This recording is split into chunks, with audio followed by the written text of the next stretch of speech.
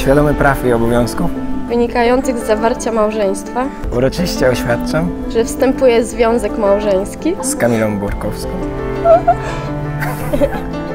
Z Danielem Klimczyk, i przyrzekam, że uczynię wszystko, aby nasze małżeństwo było zgodne szczęśliwe i trwałe.